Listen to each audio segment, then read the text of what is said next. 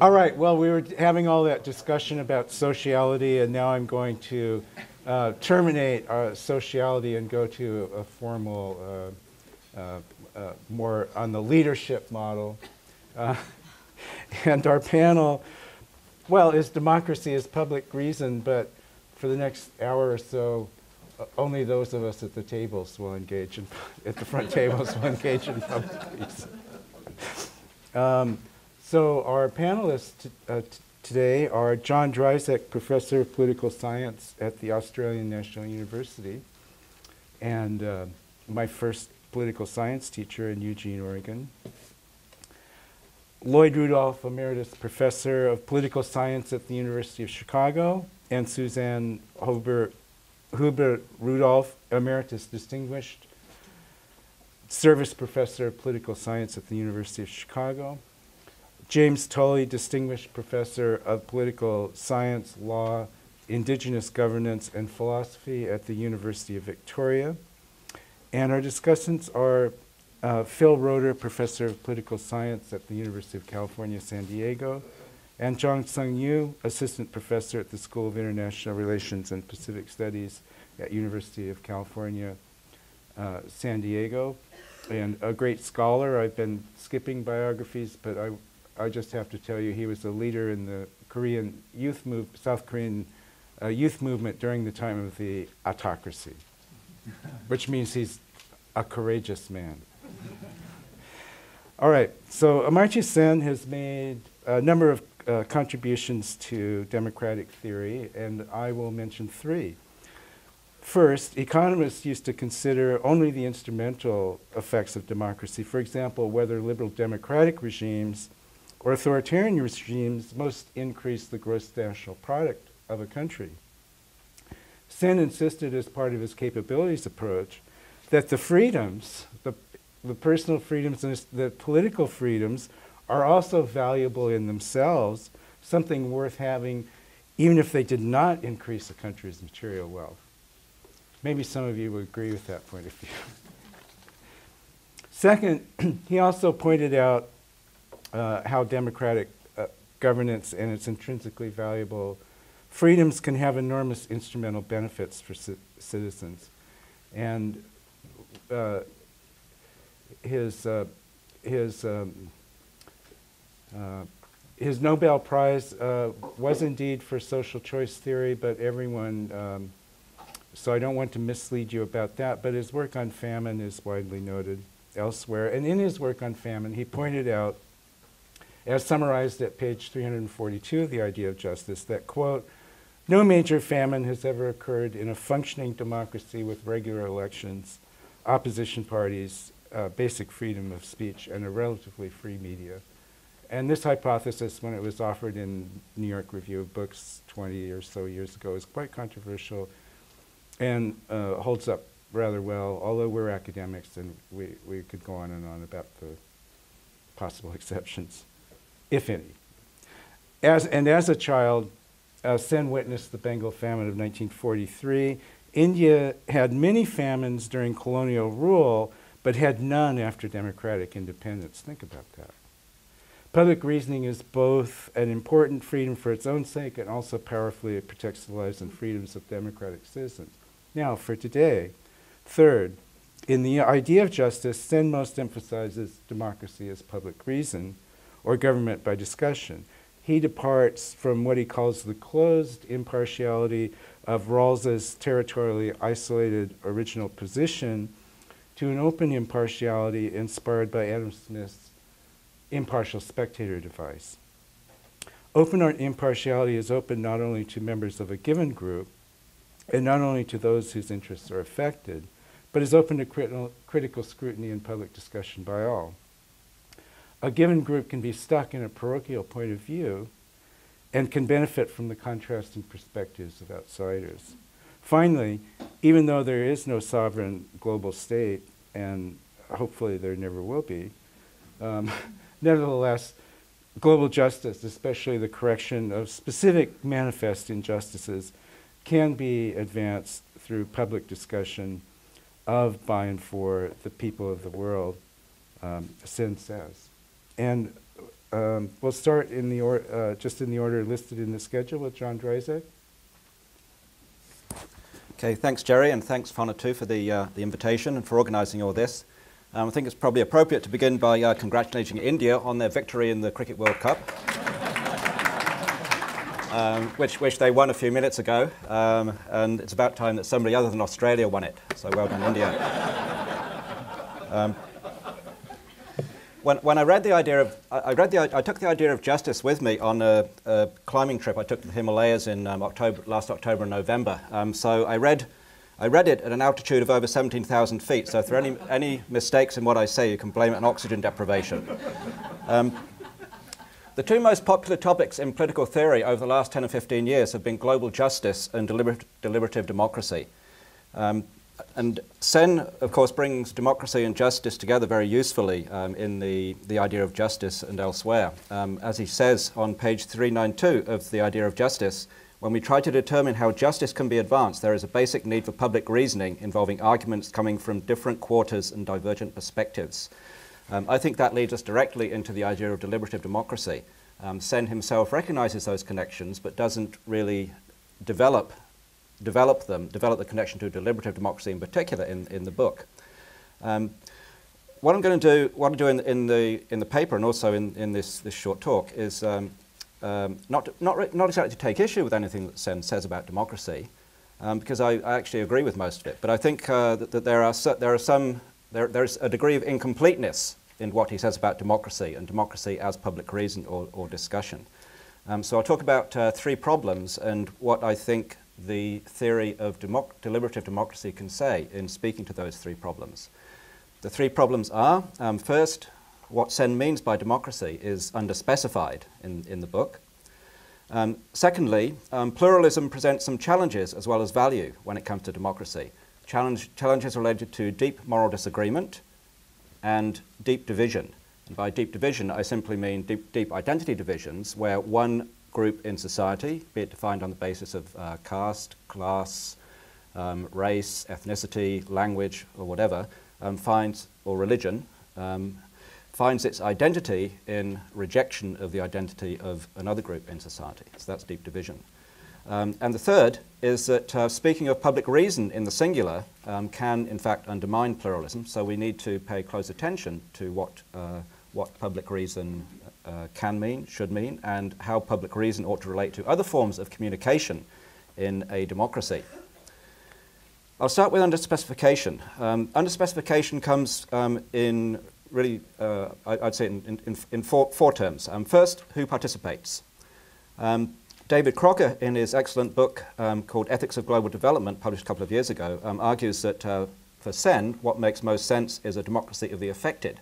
Um, so that all those affected by a decision should be able to participate um, in, well, I'd say deliberation about, about the content of the decision. Um, that immediately has radical implications because those affected may be in different political jurisdictions. So that takes, that takes democracy across national boundaries.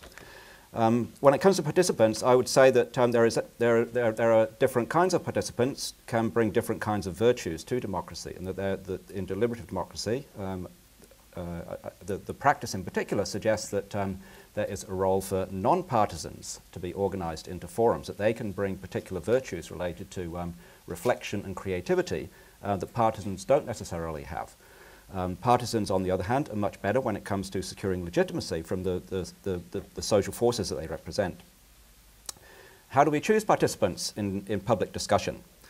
Um, there are multiple, multiple forms of representation, but I would suggest that when it comes to deliberating across plural justice claims, then one, one kind of representation that is particularly appropriate is discursive representation, um, which I um, described in um, an article a couple of years ago in the American Political Science Review with my colleague uh, Simon Niemeyer, although the term actually was, uh, the term discursive representation was originally coined by Margaret Keck. But the basic idea is that we can think of discursive representatives as, as representing not particular groups of people, but particular discourses or perhaps particular conceptions of justice.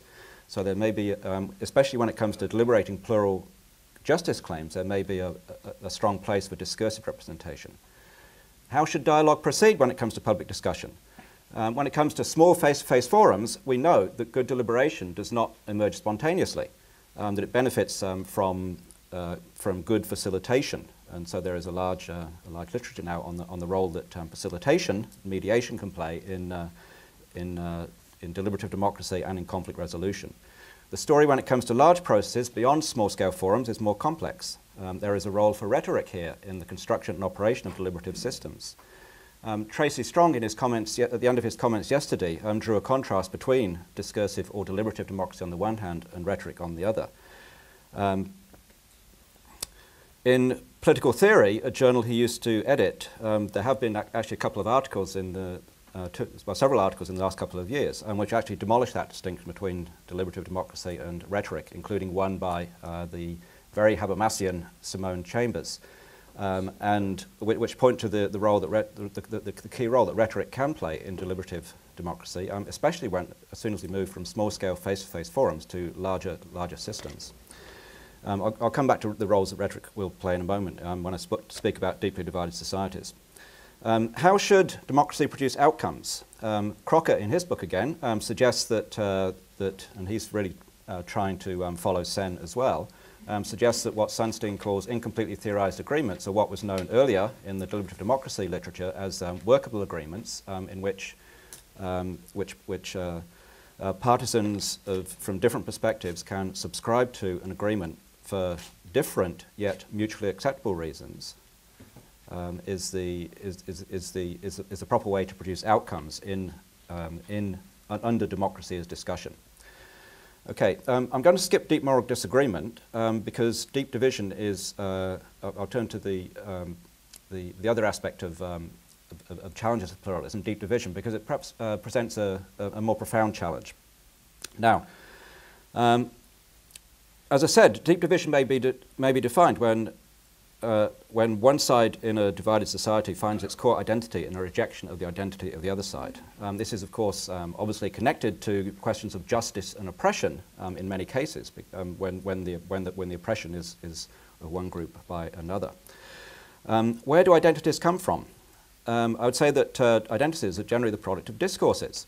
they're not primordial, they're not fixed, they're not given. in which case, the main task for democracy as discussion under conditions of deep division is to seek discursive metaconsensus, which uh, we can define as agreement on the acceptable range of contested discourses. Um, what does that mean in practice?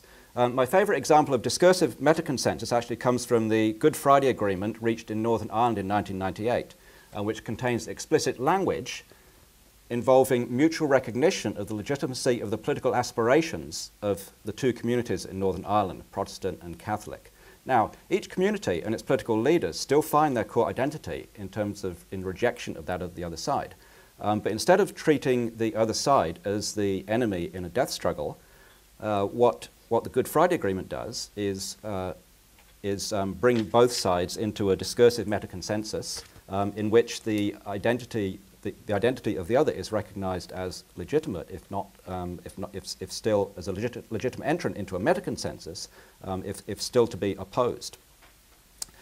Um, again, rhetoric matters. Um, consider the difference um, in, in, in uh, say, the difference between, say, the rhetoric of Nelson Mandela in reaching across the, the racial divide in South Africa.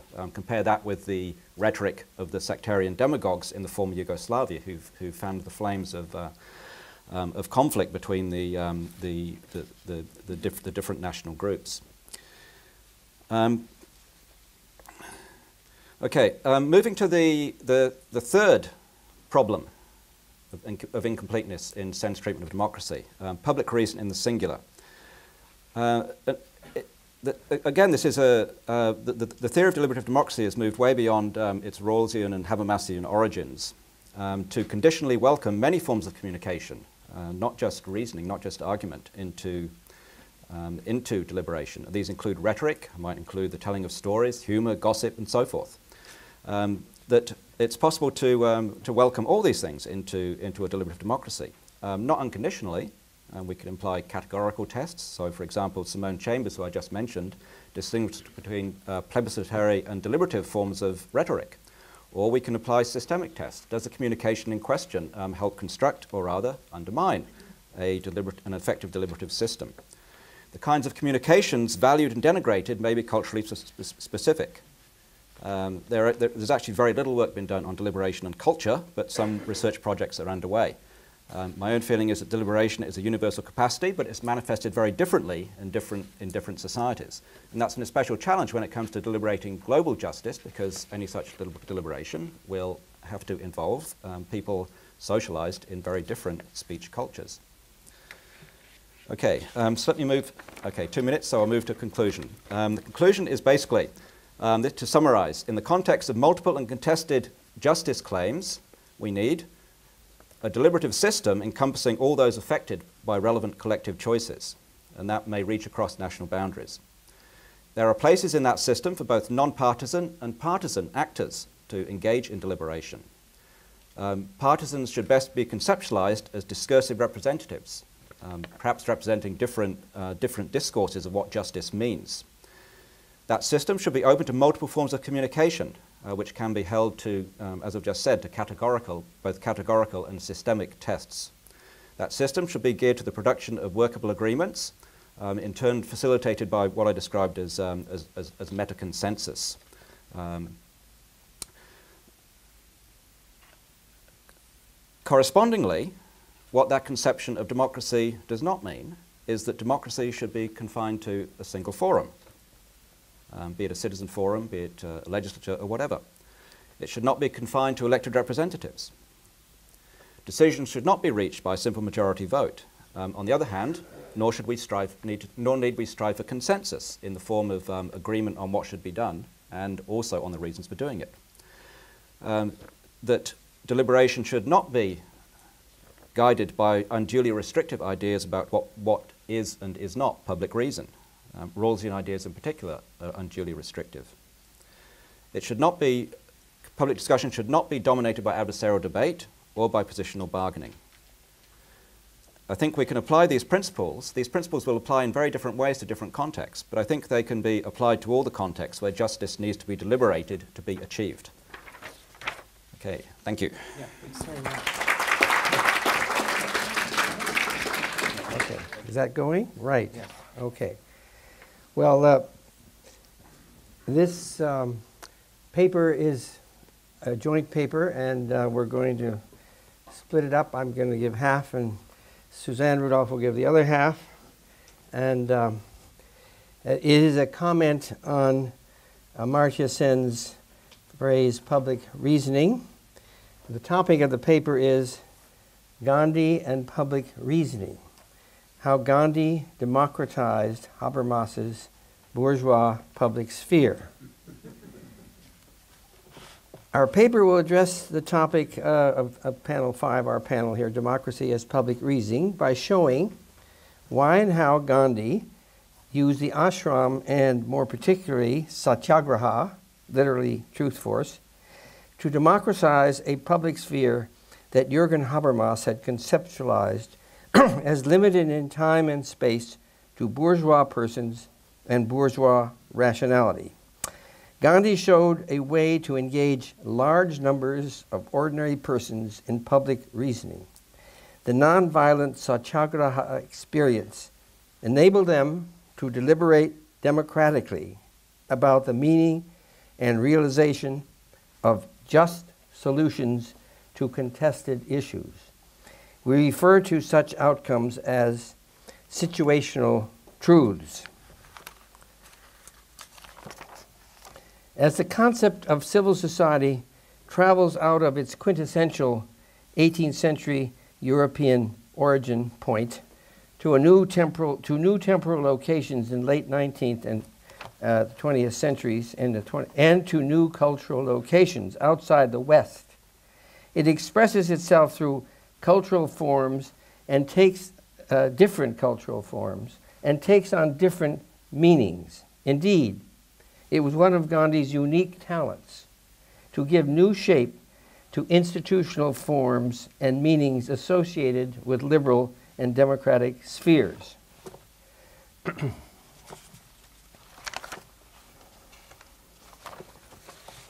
Gandhi's greatest invention may be satyagraha. Satyagrahas took the form of nonviolent civil disobedience or non cooperation campaigns, to resist unjust laws or illegitimate governments. The intended consequence of such nonviolent resistance was to engage an adversary, often a government, but sometimes a civil society institution, such as a management association or a temple, in negotiations about the terms and conditions of the relationship. His most historic satyagraha, of course, the nonviolent act of civil disobedience, taking salt from the sea, shook the foundations of the British Empire. What does Gandhi's satyagraha have to do with Jürgen Habermas's concepts? First, communicative action in the bourgeois public sphere was said to produce in, said to produce laws in the public interest if those involved engage in disinterested rational deliberations. Second, Habermas finds that the quote essential aspect of communicative action is an aspect that was pinpointed by Bernard Manin when he said of when he said of liberal theories and democratic thought that the source of legitimacy is not the predetermined will of individuals, but rather the process of its formation that is, deliberation itself. Satyagraha, as Gandhi conceived and practiced it, also entails that the deliberative process or public reasoning be the source of legitimacy for communicative action. But Gandhi asks more of the deliberative process than the rationality that Habermas found sufficient. Gandhi is clear that mind without heart, reason without emotion, cannot be persuasive in this regard, Gandhi's position accords with the recent revival of Spinoza's view of the mind body relationship, a revival which calls into question Descartes' radical separation of mind and body. The neurologist philosopher Antonio Damasio has argued in a recent book, Looking for Spinoza, that Descartes was wrong to think that, the feel- that feeling is the enemy of reason and that Spinoza was right to believe that feeling was thought's indispensable accomplice. Gandhi, in effect, critiques Habermas's conception of deliberation by insisting that rationality without feeling cannot yield knowledge, truth, and the public good. Gandhi speaking, experience has shown, Gandhi says, that mere appeal to the reason produces no effect upon those who have settled convictions. The satyagrahi strives to reach the reason through the heart. The method of reaching the heart is to awaken public opinion. Public opinion is a mightier force than that of gunpowder. Perhaps it, what happened in Tahrir Square in Cairo, Egypt recently seems to support this view. Gandhi is deeply concerned with ensuring that satyagraha, understood as a form of public de- deliberation, be public in the sense of disinterest, in the sense of disinterested and transparent. Quote, I want you to feel, he tells future satyagrahi, like loving your opponents. And the way to do that is to give them the same credit for honesty of purpose which you claim for yourself. I know that this is a difficult task. Once we begin to think of things as our opponents think of them, we shall be able to do them full justice. I know this is, requires a detached state of mind, and it is very difficult to reach, and that is difficult to reach. Nevertheless, for a satyagrahi, it is absolutely essential. You must, he says, step is the quote Step into the shoes of our adversaries and understand their standpoint. Gandhi, like Habermas, is in pursuit of truth, but Gandhi's truth is of a different kind. Habermas speaks of truth in the context of expectation that knowledge can be universally valid. Gandhi's truth is in the context of a satyagraha is situational, not universal. Truth is what the satyagrahis and their adversaries find to be the common ground of their mutual understanding. It is the truth of a particular context.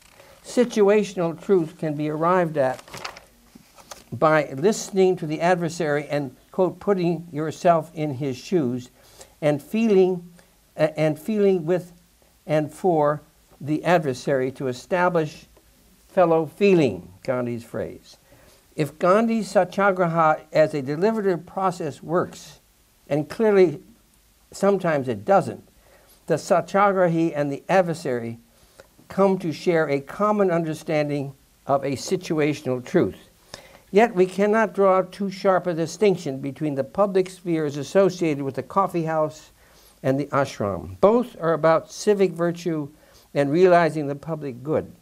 Gandhi would align with Habermas, Habermas's concern about the public sphere falling victim to proliferating and um, increasingly powerful private interests and to the self absorption of consumerism. But Habermas's commitment to the universal truths of Enlightenment rationalism as the foundation of the bourgeois public sphere stands in marked contrast with Gandhi's commitment to changing hearts as well as minds and to Satyagraha's situational truth as the foundation for a democratized public sphere. Now that's my half, and Sue will come over and give her half.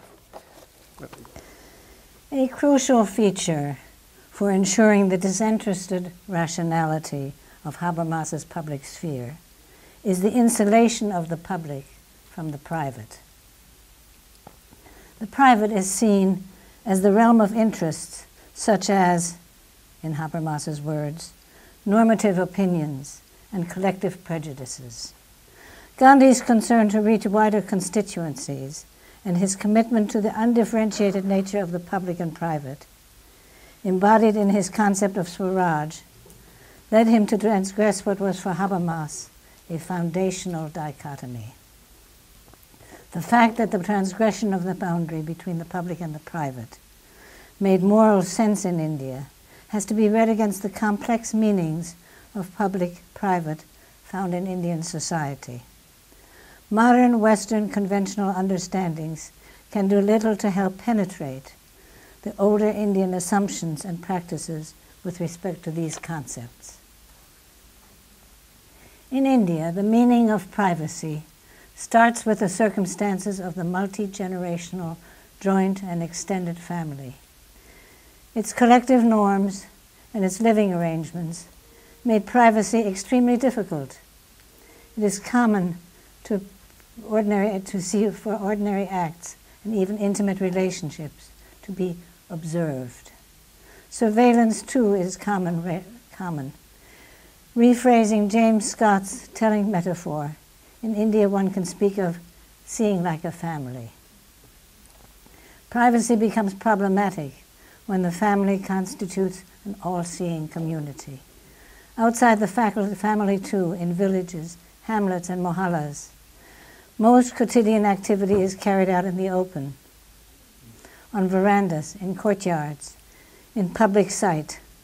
Under such circumstances, it becomes apparent that privacy is an invention of the bourgeois nuclear family, whose members live in homes and rooms with doors that shut and curtains that close. Many nominally private practices in India have public meaning.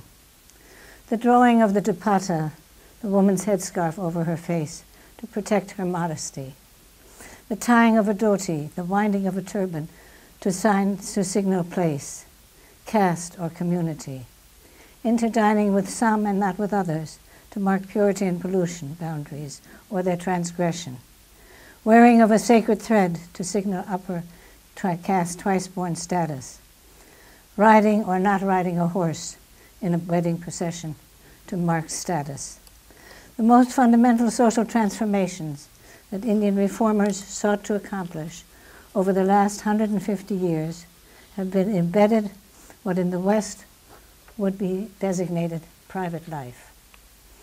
Urbanization and globalization have weakened some of these practices, particularly in Indian cities. But in Gandhi's time, when rural India still defined much of the civilization, these practices were dominant.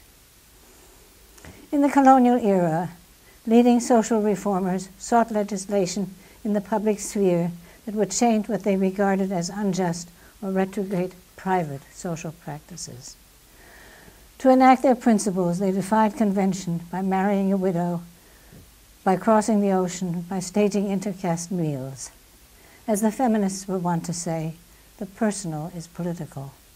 A view that resulted in the Age of Consent Act, the Widow Remarriage Act, the Gains of Learning Act, Gandhi's first ashrams in South Africa. Gandhi's ashrams in South Africa, the Phoenix Settlement, begun in 1904, the Tolstoy Farm, established in 1910, created public spheres by asking those who volunteered to adapt their private life to the ashram's material and moral purposes. Phoenix Settlement and Tolstoy Farm were meant to be exemplary voluntary communities. Gandhi saw them as models for a diverse, pluralist India, an India willing and able to recognize and learn from difference. The negotiations entailed in adjusting private ways of life to norms and rules shared by the ashram community were discussed publicly. Starting with his first publication in South Africa, Indian Opinion, and later in India, with Navajivan and Young India, also journals. Gandhi devoted considerable space in his publications to rendering the private public. The accounts in Satyagraha in South Africa, the book about Gandhi's time in South Africa, and in Indian Opinion, are replete with the quotidian details of negotiating the adjustment of private differences, bringing them into public view and shared practice.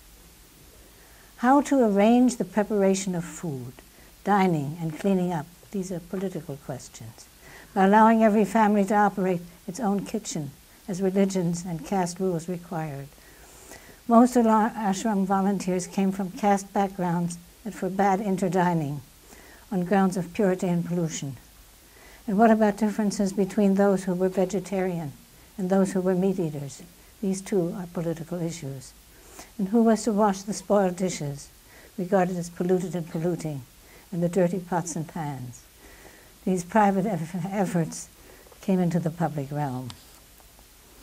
The ashram and the satyagraha as vehicles for displaying a democratized public sphere because a new kind of political theater. Gandhi moved their performance around India, recreating at various sites the drama of transgressing private commitments and challenging unjust laws to create democratized public spheres. In Champaran in 1917, in Ahmedabad in 1918, countrywide during the civil disobedience movement of 1919-1920, during the Salt March in March-April 1932, 30. He recreated at various sites the drama of transgressing private commitment. Gandhi's political theater was creating a new and distinctive form of the public sphere. It was marked by the visible practice of simple living, performance of physical labor and polluting tasks, making and wearing a khadi, doing for yourself, living with and learning from the comrades of diverse backgrounds. The performances were to demonstrate the asceticism and discipline required for Swaraj, Sarvodaya, and for the pursuit of situational truth. The ashram as a public place made greater demands than the coffee house. It challenged the Habermasian notion that the, vi- the viability of the public sphere, its capacity to be the locus of communicative action, and the source of the public good, required that private life and private interests be excluded from the public sphere. For Gandhi, the private sphere was the location of India's deepest inequalities and severest oppressions. Its arrangements and requirements blocked fellow feeling and common discourse, transgressing the requirements of the private realm by instituting shared living arrangements at Tolstoy Farm and other ashrams, made the political theater of the ashram an exemplar for democratized public sphere in India.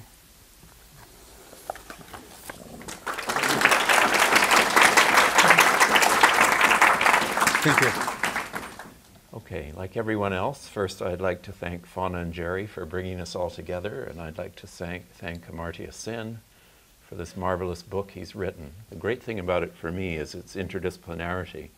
There are very few books in the last 40 years that have brought together as many disciplines and made them speak to each other. And the proof of the pudding, so to speak, is the fact that we're all here today from many disciplines trying to focus on these issues around justice and democracy and being able to draw on the great richness of this book to pick up a, maybe a common or cross-disciplinary language to carry forward in research, this new center here at San Diego. And I think this book will be a benchmark, much the way Said's Culture and Imperialism was for many of us, to bring together post-colonial thought and Western thought and so on. I think this text is going to have this global reach uh, through its interdisciplinarity. So I'm deeply grateful to you for this. I want to try and uh, speak here about two ways of realizing justice and democracy, two ways that I think bring together the work of Amartya Sen and also the work of Elinor Ostrom on cooperation. Both these uh, traditions are realization focused. In the first part of my memo, which is quite a long memo actually, I discuss Sen's approach to democracy as public reason in relationship to representative government with the aim of influencing the government or voters or public policy to bring about legislation that addresses uh, specific injustices. So let's call this democracy as public reason vis a vis representative governments of various kinds, and these can be local, national, or global. In the second part of the memo, I look at another tradition that's both Western and non Western, where democracy is taken to be exercising democratic powers ourselves. Democracy is self government, of citizens exercising uh, self government over their social and economic affairs. And I call this cooperative democracy. I argue in the paper that these two traditions are complementary. They support each other, they're almost unimaginable to me historically uh, to try and separate them out and imagine you could have just representative democracy without modalities and scales of direct participatory democracy, of economic uh, self-government, and so on at the same time. So I want to spend in my sh the short time I have talk a little bit about this uh, second tradition, the tradition of democracy as democratic participation. The first question is, why is this necessary? And I think it's, it's the answer for, from the cooperative perspective is that deliberative or public reason democracy is limited. It's limited by what we might call, or what Professor Sen calls, the institutional structure in which public reason and representative government takes place, what Sen calls the institutional structure of the contemporary practice of democracy.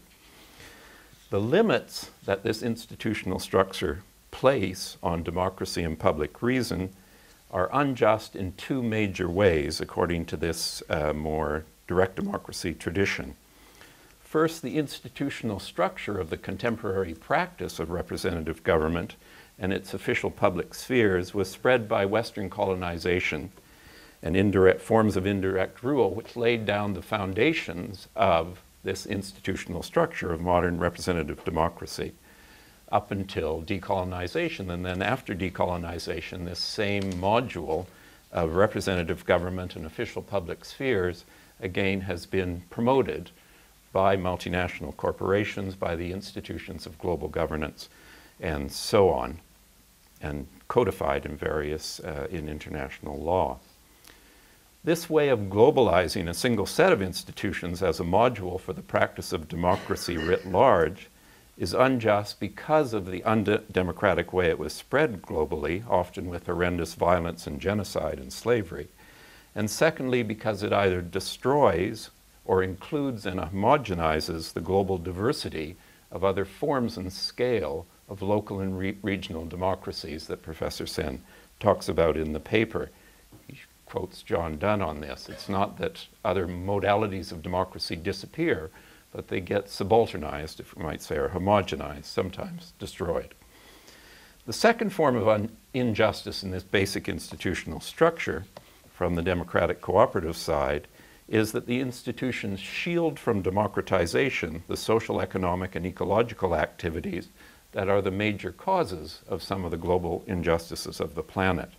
First, the horrendous inequalities and exploitation of the global south relative to the global north Secondly, the ecological destruction and climate change caused by unregulated, privatized economic development. And thirdly, this horrendous global military network that's needed to establish and put in place by violence this institutional structure and police it uh, in order to protect privatized forms of power.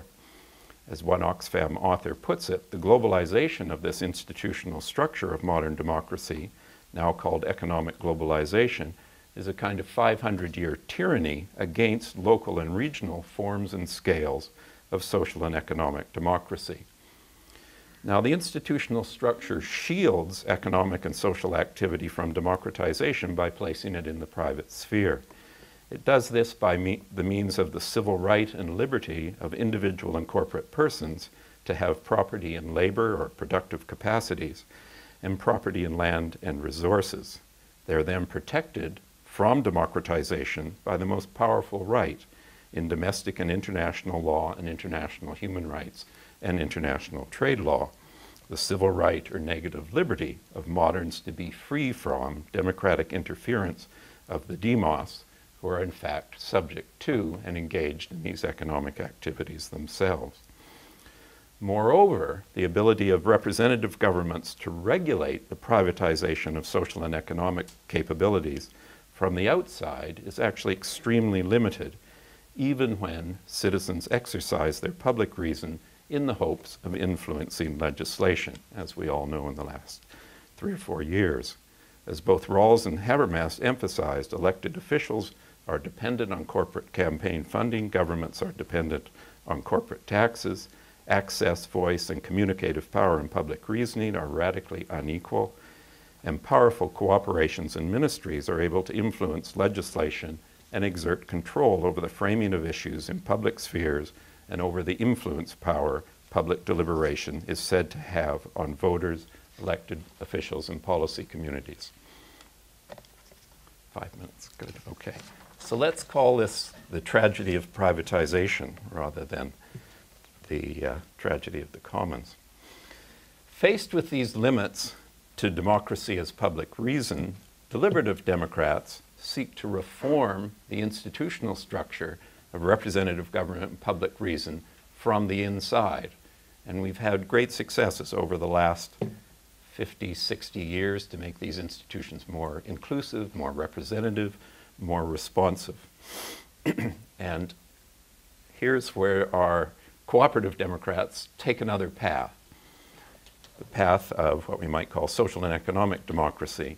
But to understand why they take, the reason they take this path is because they run up against the limits of representative government and public reason vis a vis concentrations of, of, private power. But the path they take, I think, is best understood by turning to another uh, world famous economist, Karl Polanyi, in 1944, in The Great Transformation, and his diagnosis of what's wrong with this basic institutional structure, very similar to D- David Held's argument he says there are two flaws in this basic institutional structure of representative government and private sphere. The first is that our productive capabilities of humans just aren't commodities on the market like other commodities. They're, in a way, fictitious commodities. They're embedded in and intersubjective social relationships in which humans live and on which they're dependent for their well being. When they are commodified, they're disembedded from these social relationships and inserted back into abstract and competitive relationships of the global economy. The effect of this is to damage and to gradually undermine the social relationships, communities, and social capital in which humans are dependent, yet which, from a market perspective, are treated as externalities. In response to this, nonviolent cooperative Democrats refuse to cooperate with the privatization of their laboring capabilities. They reappropriate them, they exercise them themselves in democratically run social and economic cooperatives in common to produce the public goods they need food, shelter, clothing, security, health care, clean water, and so on. They internalize democratic social relationships or social capital democratic cooperative tradition, democratically run community based organizations from Robert Owen through Peter Kropotkin to Gandhi uh, Schumacher, the Swaraj and Swadeshi movements in India and Asia, to food sovereignty in Latin America, Japanese fishing co ops, to the great global democratic networks of fair trade, as opposed to free trade, now circle the world and include more than 800 million people. The second Polanyi diagnosis is that the privatization of land and resources is again are not commodities like other commodities. They're fictitious. Land and resources exist within webs of interdependent and reciprocal ecological relationships in which all forms of life on the planet live and breathe and have their being. When land and resources are commodified and disembedded from this natural gift economy and then inserted into abstract competitive relationships, the effect is to treat the enveloping ecological relationships as externalities, much like social relations relative to labor power, and to gradually destroy them. In response, realization focused cooperative Democrats withdraw their productive capacities from activities based on the privatization of land and resources, reappropriate them, and exercise democratic control over their relationship to the environment, understood as a global co- commons. So they internalize the, this relationship with the environment.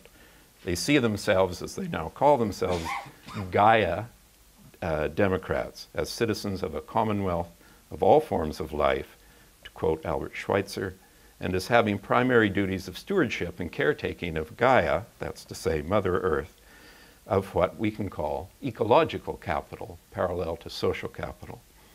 For them, the basic ecological relationships of all forms of life of interdependency and cooperation are the true bases of democracy and justice, not some institutional structure imposed over this living being and treating it as private property.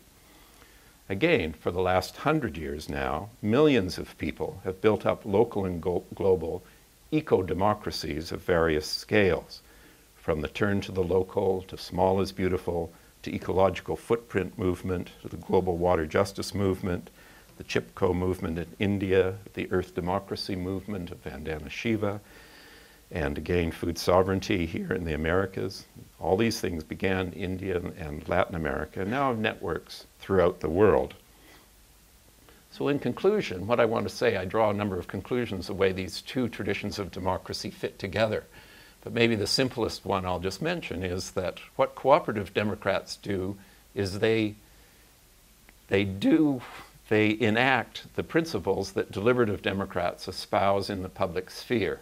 Rather than trying to influence governments, they act in accordance with the just result. They try to re- realize social and economic justice here and now in every step they take, or in every breath they take, in some ways it's put they, as somebody mentioned earlier, they have to be the change in their daily lives that they argue for in the public sphere. And they make this distinct uh, tradition of di- direct democracy. Thank you.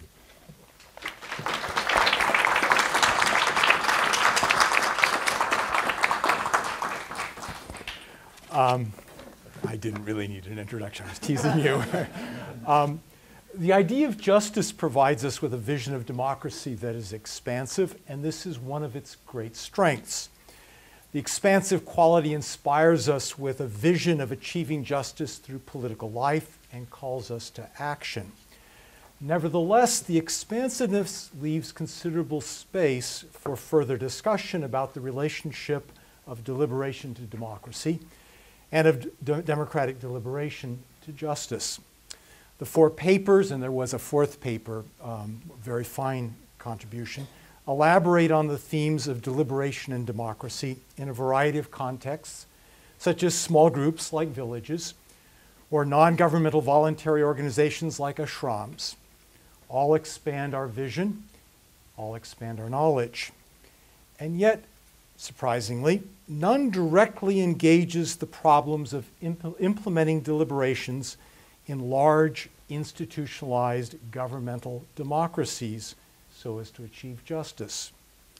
And so, this is the issue that I want to add to their agenda for further and perhaps future consideration. I'm going to highlight eight questions that the idea of justice and the papers pose, at least pose for those of us who study actual large scale democracies in different countries. My comments are not those of a political philosopher, as Gerry pointed out, and as will, will become also painfully apparent as I proceed. They are instead the comments of an empirical political scientist who appreciates the way in which philosophers prod us to see further and deeper, but also someone who thinks that philosophers and empirical social scientists have something to learn from one another, and that philosophers should pay a little attention to those of us in the empirical trenches.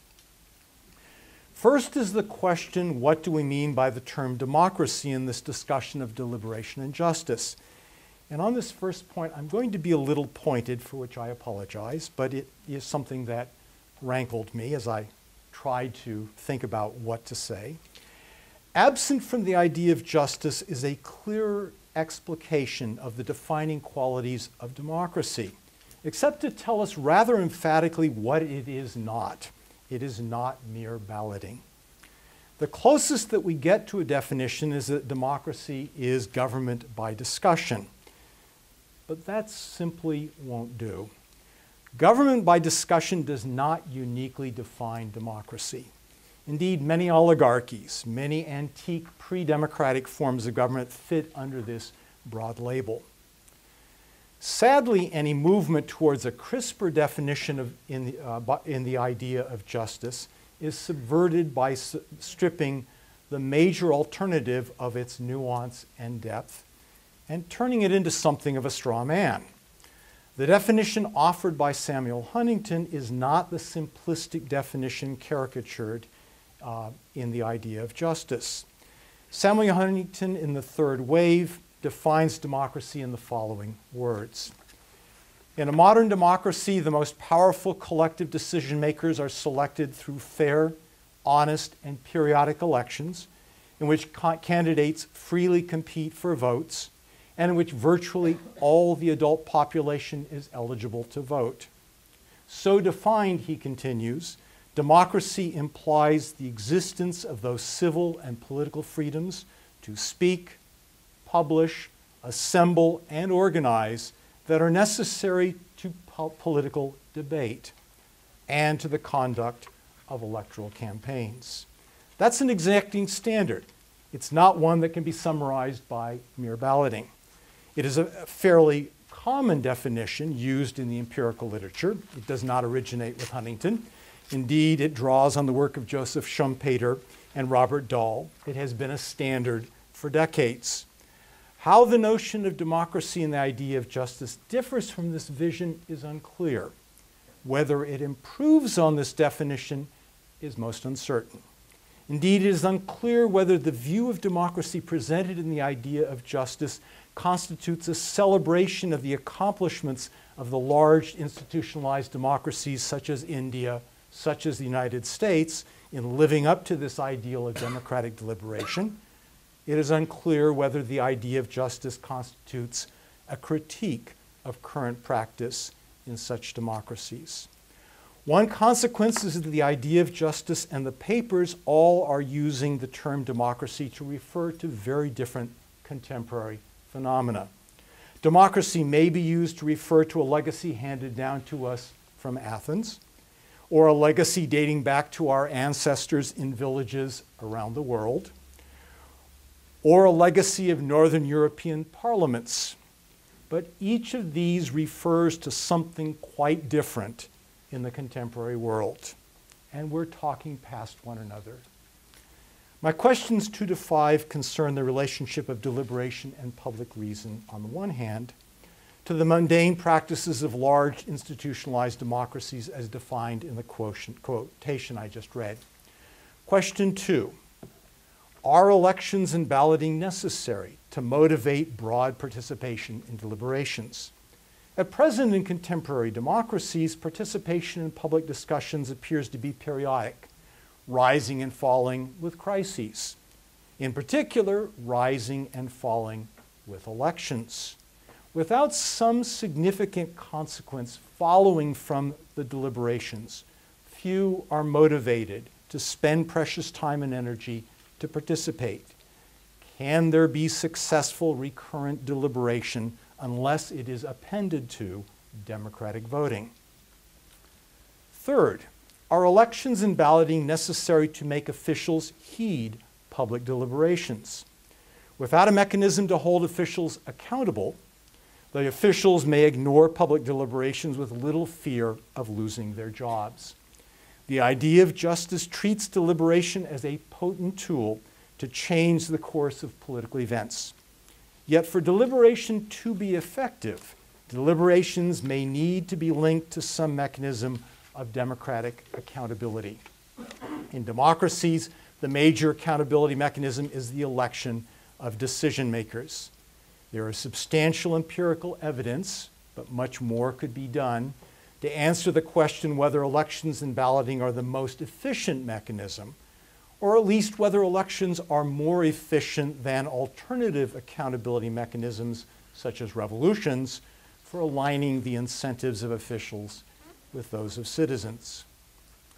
Fourth, when deliberations fail to reach a consensus, what institutions and rules do we use in order to decide whether and how to act? Some very important deliberations, such as the deliberation over civil rights in this country, have gone on for decades, have not reached conclusion. In the West, the recorded deliberations over the meaning of justice have gone on for maybe two and a half millennia, and we have not yet reached a consensus. Indeed, it may be a sign of how little progress we have made in that particular debate that we still read some of the original interventions as though they were contemporary uh, statements uh, on this issue. How do we, do we wait to act until deliberations have reached consensus? Obviously not. That's a throwaway question. But the important question is under what conditions is it appropriate to act without consensus? How do we conclude that we have reached the point in our deliberations over specific issues where it is time to act? And how do we decide which course of action to take? Do we rely on simple majority vote by our elected officials? If that's the answer, there's not much that is original in a deliberative approach to democracy. Majority vote by elected officials is the standard conventional answer that we have given in democracies. Or does a commitment to deliberation and public reason require a referendum with a supermajority of two thirds in order to act while deliberations continue? If you're a fan of that approach, come to California. or does a commitment to deliberation and public reason legitimate direct action by minorities. Minorities who claim to have seen the consensus that is emerging, anticipate it, anticipate the conclusion of deliberations. I would caution against that because this last claim, of course, has been used by actors around the world who seek to challenge the workings of large scale institutionalized democracies in the name of such causes as communism and fascism. Fifth, does the dismissal of mere elections, this is a more personal point just because it reflects on my own interactions with some of my good friends who are deliberations, does the dismissal of mere elections lead progressives to absent themselves from the most important political action in a democracy, that is, selecting the government? In the idea of justice, elections and balloting are treated almost dismissively and they get little attention in the papers. And I think many of my deliberationist friends share this view. It's deliberation and other forms of participation that are in the spotlight. Does this focus on deliberation incline deliberationists and those most concerned with justice to forego elections? I think it does. And to the extent that it does, we absent ourselves from the selection of those who are making the most important decisions. One only need to look at the, the consequences of that in the, uh, in the most recent election for Congress. To the extent it is so, palaver may become the new opiate of the nattering class. The, la- the last three questions concern the cost of expanding public deliberation. Appear to be significantly less well informed, less respectful of different points of view, and less likely to reach consensus than the deliberations inside legislatures over the same issues. In addition, it should be noted some referenda have led to restrictions, restrictions on the rights of minorities, such as Muslims in Switzerland most recently. In such cases, including sadly some cases here in California, it has been the deliberations inside legislatures that have led to greater protections of minority rights. Seventh, and closely related to the previous question, does the expansion of the number of participants in some deliberations reduce participation in other deliberations? If people have only finite amounts of time to give to deliberation, who decides what issues get on the deliberation agenda? Must we create a new public body that controls the agenda of deliberations? Or do we spend our finite time deliberating over what we should be deliberating? As the ample studies by empirical political science can verify, agenda control can be all important in shaping deliberations. That same logic could be extended to the need for facilitators. Who picks the facilitators? The moderators. Who moderates? Who facilitates? Can be all important. Eighth, and finally, would it be more effective in achieving justice to concentrate on improving the deliberations inside bodies of elected officials? Could we improve legislative bodies, for example?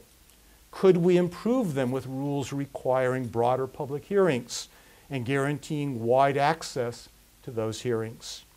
Would improvements of our existing democratic institutions be a more prudent investment in order to improve public deliberation that can actually lead to greater justice? The answer to these questions requires both philosophical investigation and empirical research. It requires both philosophers and social scientists working together to achieve greater democracy, improve deliberation, and to achieve justice.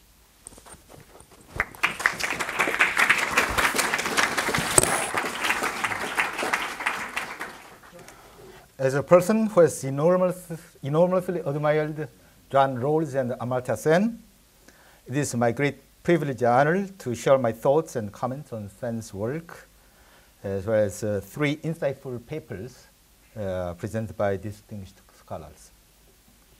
Also, this conference gives me a unique opportunity to reflect on my earlier life, life experiences. As uh, uh, Gerry mentioned, uh, uh, I'm a latecomer in academia and uh, I spent quite a bit of my earlier life uh, as an activist for uh, democracy, uh, which made me spend two and a half years in prison and later for economic and social justice in South Korea.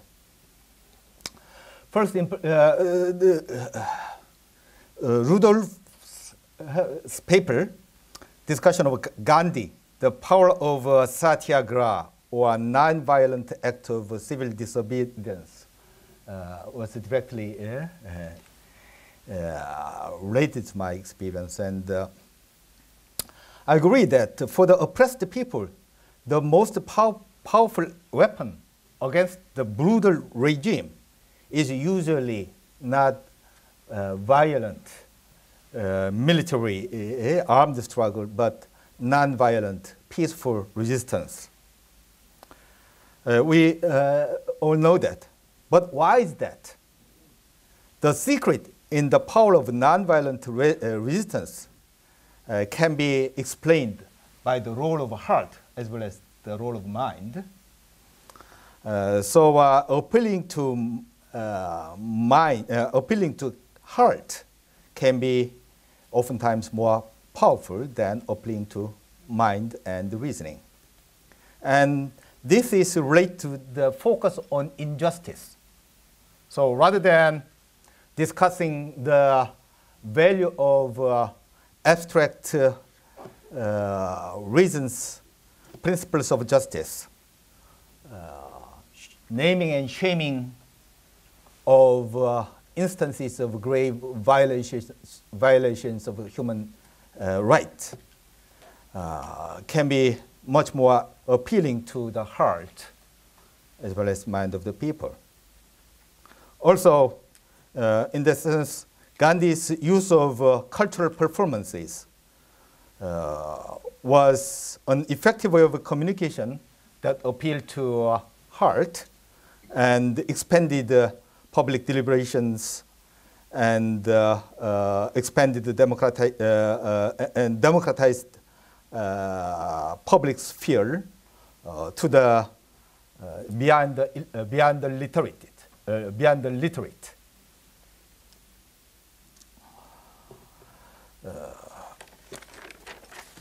But also this uh, role of uh, heart and emotions and the usefulness of focus on injustices does not necessarily mean um, mind and reasoning is not important.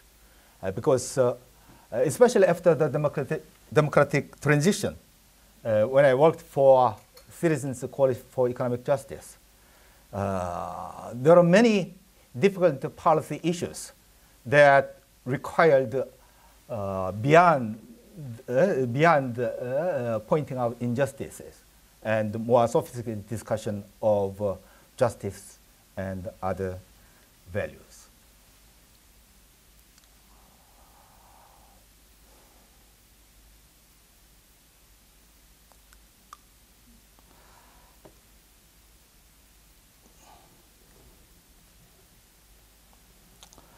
Uh, but yeah, but yeah, uh, it's true. In the struggle against uh, uh, uh, in, in the, the democratic movement in South Korea uh, during the later years of Park Chung-hee's and Chun Doo-hwan's military dictatorship, it is true. While academic discussion and about the virtues of democracy, opposition politicians and dissidents' arguments about the need for democracy played a significant role. Uh, oftentimes, the really the significant was increasing number of political prisoners, instances of torture, and uh, even death, spread of information about the massacre in Gwangju. Those things uh, increased people's outrage with the injustices of uh, dictatorship and sympathy for the victims of human rights violations. Uh, so that made, uh, while after the Gwangju uh, uh, massacre, there was an increasing tendency among the student movements for radical, violent methods of struggle. But in the end, what really changed the situation was not the radical violent struggle, but non-violent, uh, peaceful demonstrations that really appeal to the hearts of the people.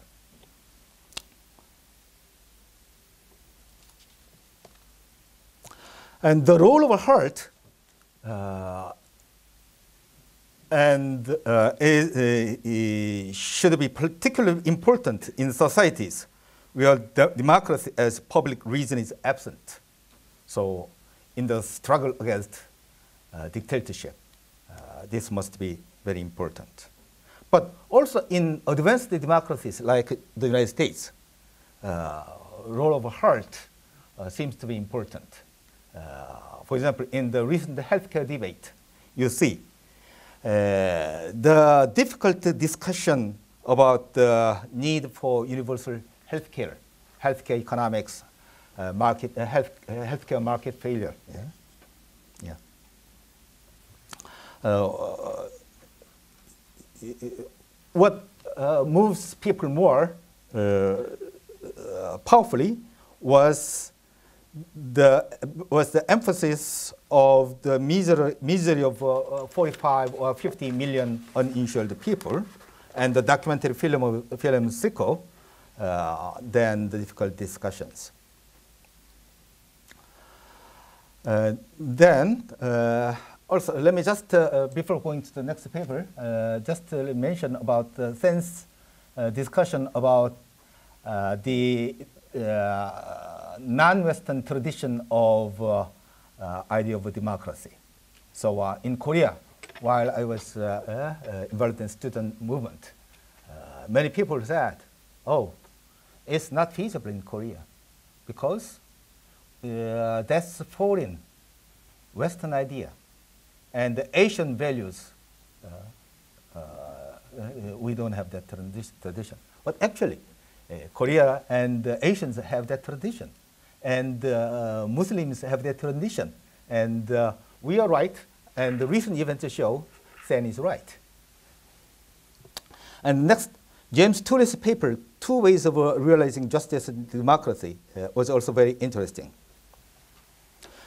Uh, he agrees with the Sen that the pursuit of ju- justice requires the pursuit of democracy as public reason.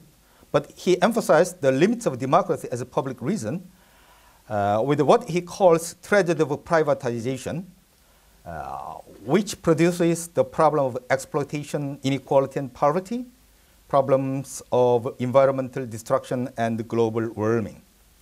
And he makes the case for cooperative democracy, such as grassroots democratic cooperatives.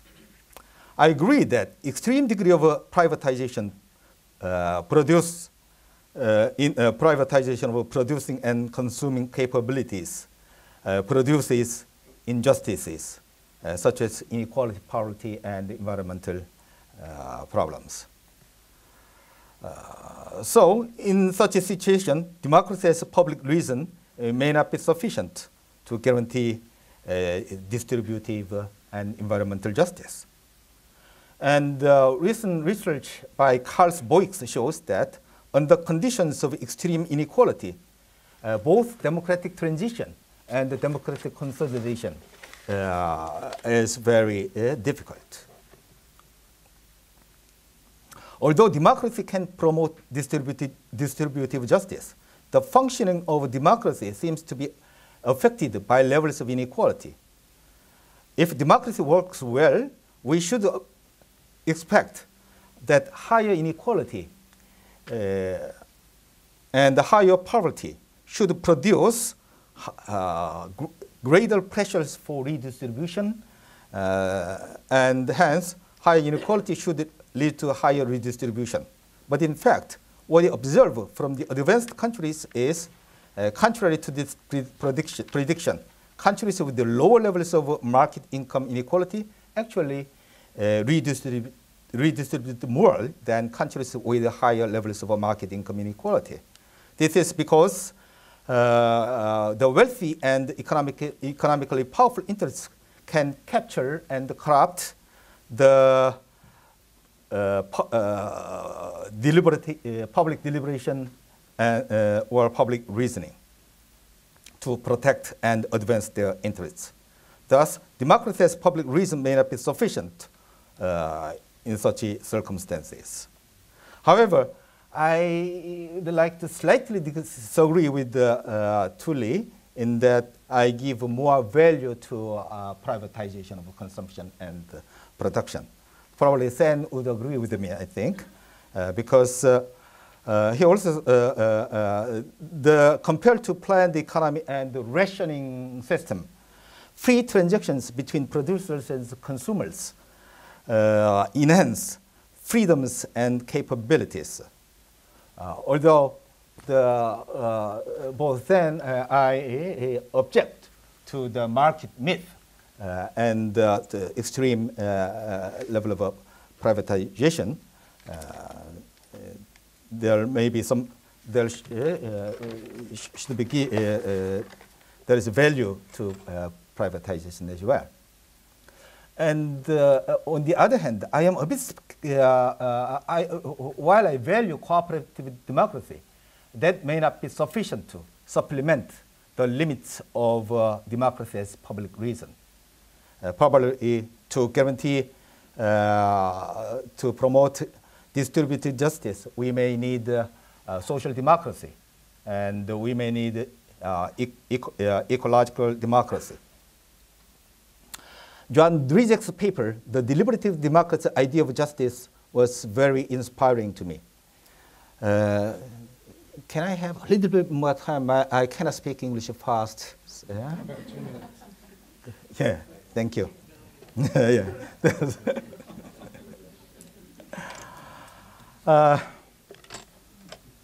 in this regard, uh, and his uh, uh, discussion of deep moral disagreements and deep divisions were especially illuminating to me. In this regard, pluralism is a challenge as well as a value. Replacement, replacement of transcendental institutionalism by a comparative framework and focus on injustice uh, may help public deliberation, but uh, may not always solve the problem of deep moral disagreements. For example, yesterday uh, there was a criticism on Rawls uh, with an example uh, of abortion. Uh, he could not uh, give a solution. But even if we focus on injustices, different people may see different injustices. Some people see grave injustice in killing fetuses. Other people see great injustice in uh, denying women's choice. In the case of healthcare, Sen argues in his book uh, between the status quo, uh, uh, which should mean the pre-Obama reform uh, status quo, and uh, universal healthcare. there, absolutely universal healthcare should be preferred because denying universal coverage is injustice. The, there is a, sufficient partial orderings. But we observe many Americans see injustices and unconstitutionality, unconstitutionality uh, from the uh, Obama reform for universal health care. So, the deep moral disagreement uh, also, uh, Dryzek observe, uh, uh, talks about deep, deep moral uh, disagreement, not only between Rawls and uh, between Sen and uh, as well. So, even if uh, you take a pluralist position and uh, uh, comparative framework with a focus on injustices that may not be sufficient to solve this problem of uh, this problem. Lastly, uh, it was uh, a bit peculiar to me as a student of corruption and uh, there's a, a, little discussion uh, about the problem of corruption uh, in uh, the idea of justice. Uh, because corruption and the capture really uh, is a great hindrance to democracy as public reason. And corruption is in itself a great example of injustice. Thank you.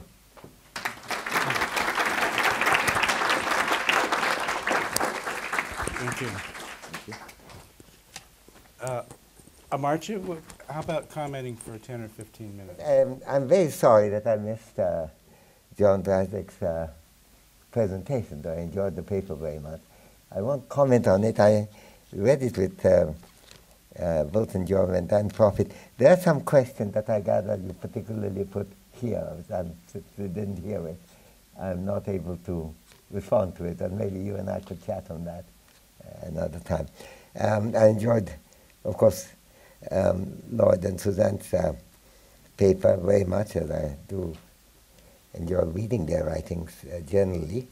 And I thought these contrast, particularly with the with Habermas and, and the issue about public space and the and the role of the private in the public, which is extraordinarily complicated thing with Gandhi. And now that all these debates are going on, about what um, Gandhi might have stood for in the context raised by uh, the recent uh, uh, biography of him. Uh, I think these, I think it's very important to recognize because some of the things that are being di discussed are matters which I think in Gandhi's life really related to his private space rather than public space. It's a, it's a very complex question, and I think we get a lot of insights in that, um, and uh, and I very much look forward to continuing to chat with the Rudolphs on that. Um, I think Jürgen studies the contrast between these two approaches as well as the need for the possibility of combining them.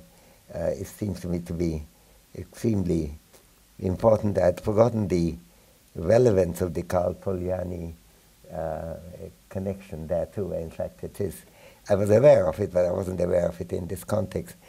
Um, we have a chance this evening when uh, Lena and I are talking, perhaps to come back to some of these questions, because in some ways, uh, James Tully's paper is almost a preparation for this conversation. I, I thought um, I um, I could have said one or two. Um, I think I like the word the privatization issue, and the there's one question I wanted to raise, and I think it's also question that uh, Yong Sung you raised.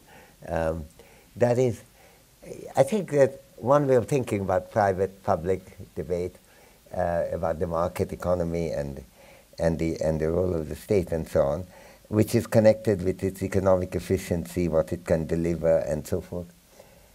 One of the I, have never been a great admirer of privatization and the private um, world of private economy and private profit.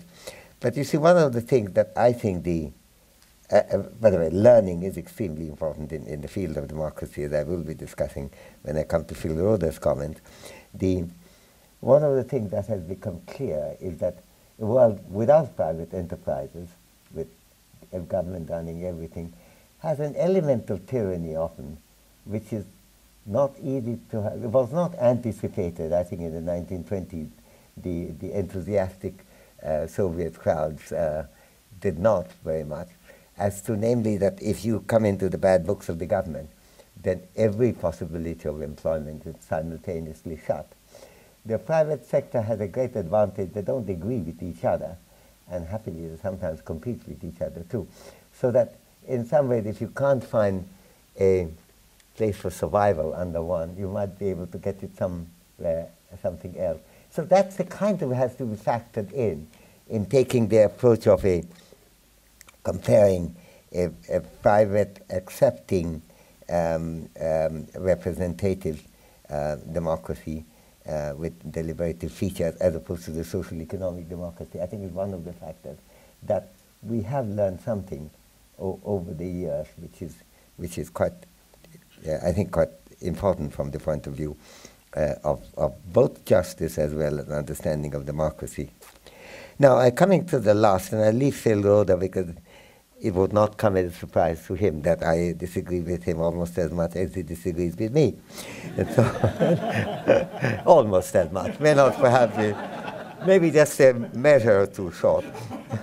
um, but Young, I'm, I'm very delighted to see Jong-sung You here because I've been an admirer of his, of his courage, of his vision, and what he has tried to do in, in his work in, uh, in the context of Korea and Asia. And I very much agree with most of the things, including uh, the, the way the narrowing of the, of the Asian values thing had, had contributed to an unnecessary pressure against democracy which was not needed and to which uh, courageous people like him had been fighting.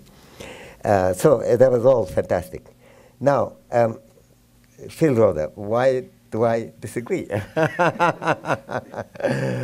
I think uh, the, and I'm delighted actually this paper, this presentation came.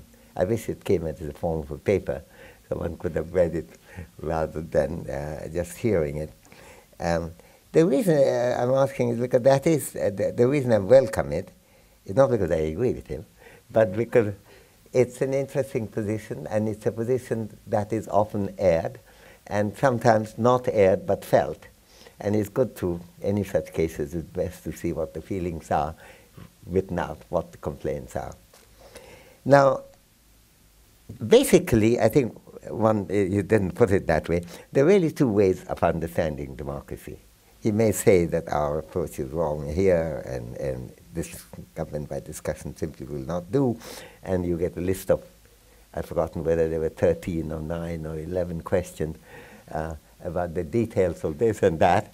Um, those are coming from an institutional perspective, and there are two ways of defining it. One is to define democracy as Mill tried to do, government by discussion, and the institutions are their um, instruments, parameters that come and go, and we don't may not know the answer to all of the questions. Some of it comes from learning and practice, like the one point I was just trying to make.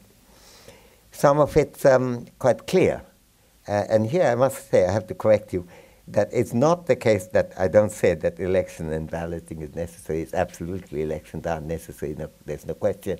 If there's one thing that emerged from historical experience, that the pretension of having uh, a deliberative democracy without elections is would bound to be a hollow one. But there is an approach of contrast here. What Mill is trying to do is to ask the question, why do we want democracy? Well, what we, you know, just as he asked the question, why do we want liberty?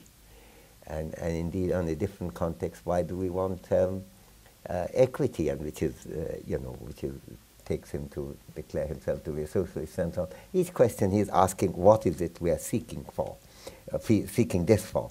Democracy is being sought to have a participatory government. Government by discussion, therefore, is important because people participate not in silence but by talking with each other.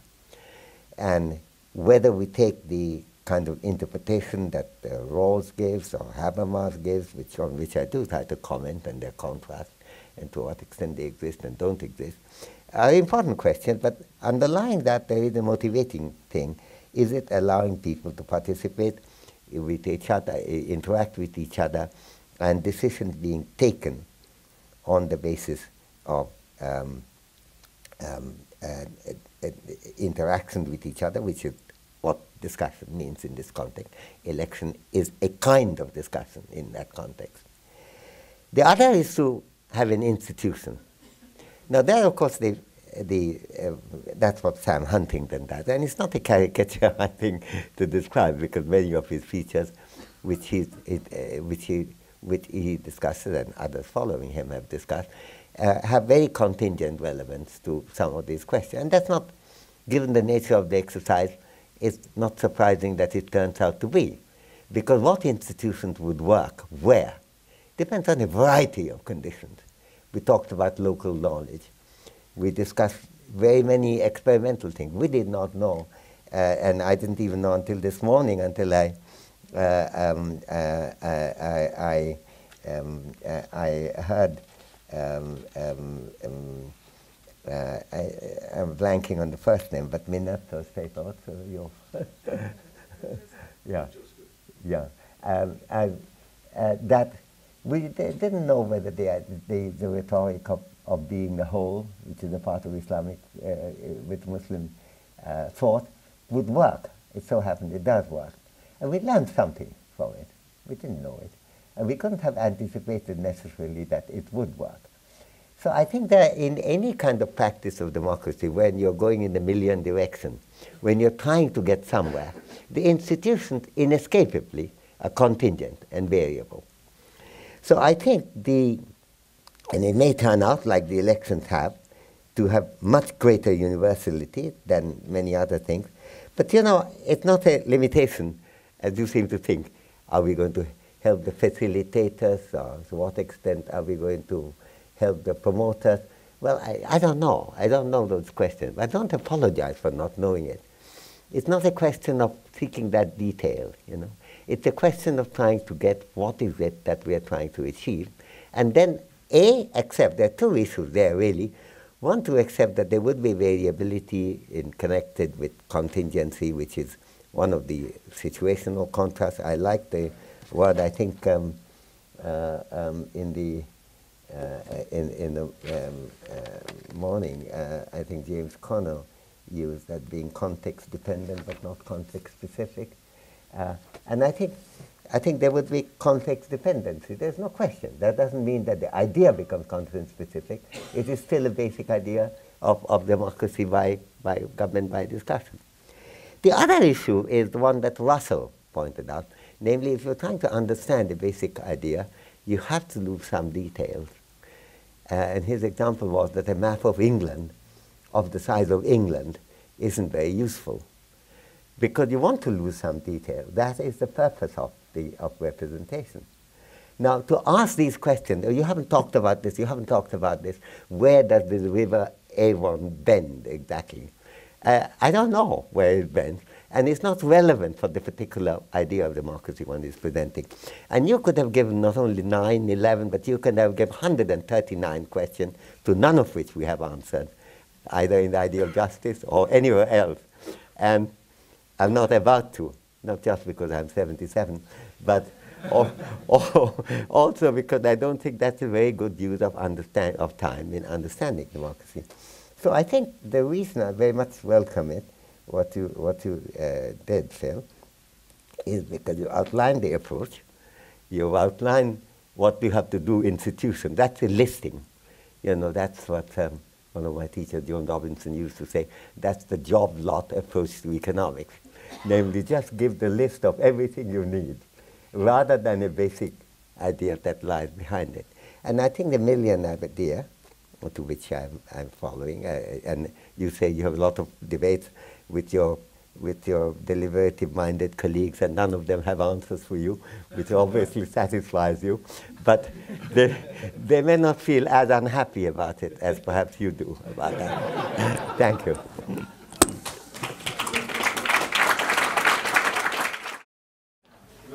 Thanks for a terrific set of presentations.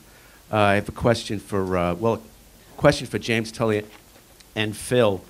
Uh, coming from a perspective of urban, urban and regional planning, I teach here at UCSD in urban and regional planning. So I found what James was saying about the limits of, uh, dem of democracy as public reason interesting, especially with respect to the disconnect that's happening in public discourse about some of the major mega trends that we're facing, like climate change and things of that nature. And uh, I'm wondering to what extent, Phil, you might say something about the geography of the institutions that you're talking about. To, uh, for instance, we have in this country local, state, and federal. But it may be that to reconnect with the problems that we're facing, we're going to need a, a form of regional government. And I say this from the perspective of uh, the report that the National Research Council put out recently that in order for us to get um, a handle on these global megatrends that we're facing, uh, that we're going to need to have a regional scale of action, looking at food, water, and energy at the regional scale, because the globalization of the economy has created this disconnect. So I'm just wondering where geography, or what um, Amartya Sen just mentioned as sort of context-dependent democracy, to what extent does a place-based, bioregional, or geographic uh, dynamic fact factor into the thinking here?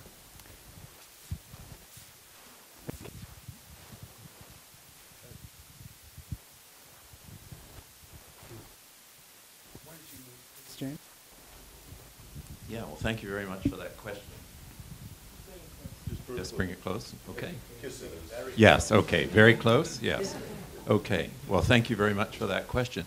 I think most of the what I'm calling local democracies that network globally are place-based. They, their attempts to exercise political powers oneself, organize in a way that uh, deals with environmental problems in your region.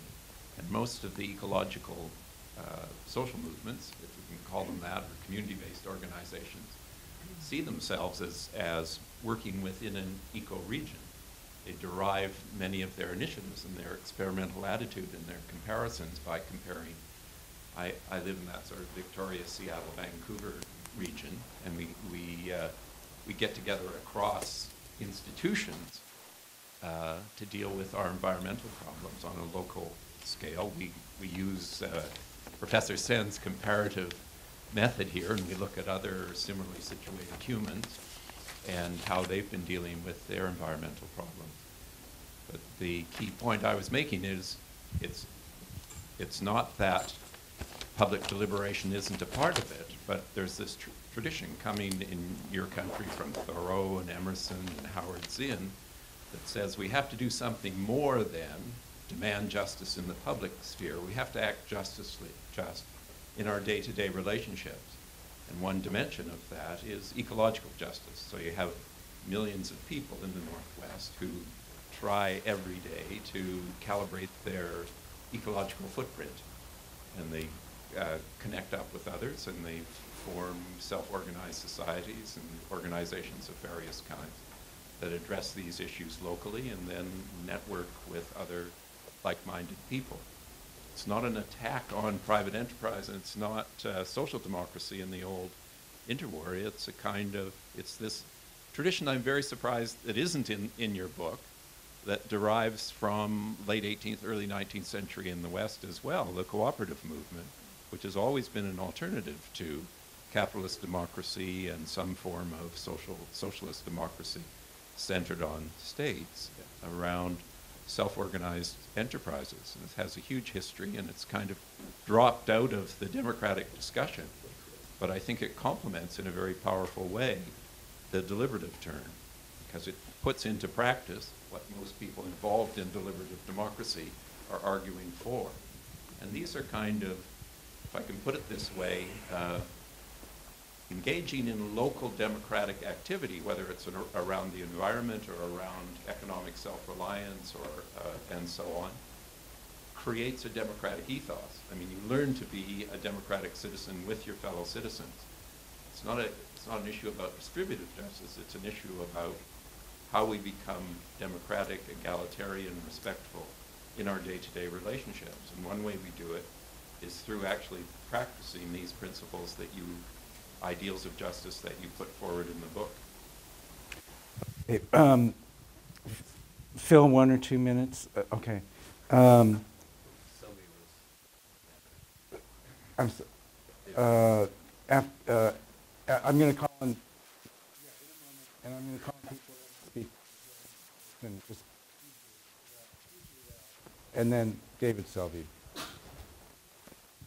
Hi, this is a this is a question for the Rudolphs, but maybe a more general point, which is, I mean, I'm, I'm referring back to, to, to, where, where does the idea of deliberative democracy come from in the writings of Gandhi or, or, or in other uh, people writing from a non-Western, or I think of Gandhi, I'm thinking Gandhi here as a political philosopher rather than an activist, right? Uh, and I'm drawing on Karuna Mantena's recent book where she points out that Gandhi drew on Henry Maine, G.D.H. Cole, Mill, he was very much in the tradition of, uh, of people writing on democracy and, and, and, on, and, on, and, on, on the, uh, and political philosophers writing from the English pluralist tradition, that he then Indianized or internalized within the context of what he was trying to achieve both in South Africa and in India. In that sense, he, I would place him uh, as a political philosopher in, on the same category of person as uh, the, the, the, people trying to, trying to make uh, understand democracy from an Islamic perspective that you heard about yesterday, or for that matter, in South Korea, from, a, from you know, what is democracy in, in, a, in a Confucian or a, or a South Korean perspective, when you have to use different terms to make that language relevant to your context in order to engage in better and more symbolic and more heartfelt activism. So in that sense, it's not an alternative, but an internalized, a way of internalizing something in order to make it context specific. you know? Uh, so, uh, just, just, just a thought. Do you care to co- do you care to comment? Uh, it's a very big question. In one or one to two short, minutes. Very short. Okay. Hello, hello. Okay, uh, uh, you know, B.G. Rao has a great point, and I don't. I think uh, uh, Ram Guha once said there was no such thing as a Gandhian intellectual. Uh, he was wrong. I think B.G. Rao is right. I think Gandhi was a very a well-read person and uh, had, you know, took, I read, it, it, it was an intellectual, even though he was regarded as a kind of, you know, stick in the mud traditionalist. But I want to make this point about that Gandhi, you're asking about Korea, elsewhere in the world, and what happens in India. So Gandhi uh, is, a weak, I, I think, of as an Eastern Western and a Western Eastern. Mostly people think of Gandhi as very Indian. But if you read Hind Swaraj, which is one of his 1909 book, very uh, perhaps most seminal book, he says there are 20, he lists 20 books at the end, which he said, these are my ideas, but they're not my ideas. These, so in those, of those 20 books, most of them are by Westerners, particularly Tolstoy, Thoreau, uh, even, uh, even Plato. And so he is very profoundly influenced by Western thought. He is what I call the other, not just the West, though. It's the other West, the West, the dissident West, the, des- the West that challenges industrial uh, society and uh, consumerism and so forth and so on. Thank you. Oh, no. No. Um, David, one minute. It's a voice of experience. Uh, great, thanks. Uh, you know, one thing that's really nice about this conference is how much we've been able to talk to each other, I think. Um, so just to start my comment, my question, I want to start with something that Professor Sen said yesterday, which is even if we know better than somebody, there may be good reasons for why they want to choose a less just or less optimal outcome. And what that indicates to me is we're having some debate over freedom that hasn't been spelled out quite as explicitly as it should be here in this conference. Of course, public reason tends to point us back towards Kant, Rawls, Habermas. And one, one of the main tricks of, of that sort of way of thinking is that you separate ethics and politics and you come up, you figure out what's just, and then you go to the politicians and you say, make it happen. Of course, there's another way of thinking about freedom, which is kind of implied from the capabilities approach, which is some sort of Republican or Aristotelian notion of freedom in which power is an essential part of what happens in politics and can't be separated from ethics in the way that I think Kant or Rawls or Habermas wants to do it. And there, in fact, may be really good evidence to show that the practices of freedom and using power are essential to developing our capabilities in important ways, to learning how to rank different outcomes. Um, so that's my first question, Kant or Aristotle. But what Aristotle brings me to is the question Aristotle. of no, that's it. what Aristotle brings me to is simply the question of power. And if we want to talk about making justice, we haven't discussed power either. And there's good reasons to think that without equal power, you will consistently have unjust outcomes, as you find in places like Rwanda, places where there's extreme genocide. Um, so I hate to be a dirty realist, but maybe the institutional solution to this is much more simple than we want to give it credit for. And it has to do with making equal bargaining partners with whom we can make compromises. So that's it. Thank you. Okay. Um, I- one last question, and then I, you know, and then um, tasty delights beckon. Uh, so it, yes. Uh, no. So, uh, You're, you're making it up to him. So no. this isn't so much a question as a thought that occurred to me listening to this discussion about public reason as democracy and how to maybe reframe our thinking about it over lunch or uh, onwards. And it's this that I think we've all thought, come at this issue of democracy as public reason as if those three terms, democracy, reason, and public, were terms we knew what they meant independently of each other. And then there's a, we need a theory that connects them. And the question is, do we have the right theory to connect democracy and public and reason? And, you know, that means we know what the public-private distinction is, we know what the reason-emotion or reason-coercion distinction is, and we know what democracy is, that it's a form of institutions or something else. And I think maybe the way to think about this, and I think perhaps the way Amartya is thinking about it, I think the way Jim's thinking about it, I think the way everybody on the panel may have been thinking about it without articulating this, is that those three terms can only be understood in terms of each other. That is, if we want to think about what reason is in this context, what we mean is the democratically making public of ideas and exposing them to public democratic criticism.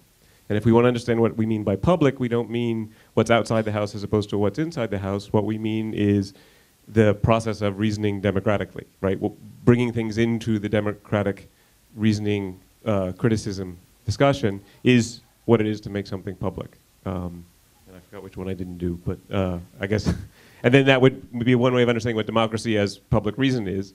Um, democracy is just the process of making public through reason, um, where those terms then have to fit into each other in a particular way. Thank you. No, we. Well, no, no. Is, is it the function, is it the function of reason to produce agreement? Okay, thank you. Um, we're uh, proceeding now to lunch at the Grande Room, and let me emphasize that the lunch is for the uh, conference participants only, and uh, a few specific invitees who have been specifically invited. Th- this is essential because uh, of the conference budget. Um, we can't afford to feed the world unless all of you are willing to kick in a little extra. so, lunch now at the Grande Room for uh, conference participants and, and specific invitees. Thank you.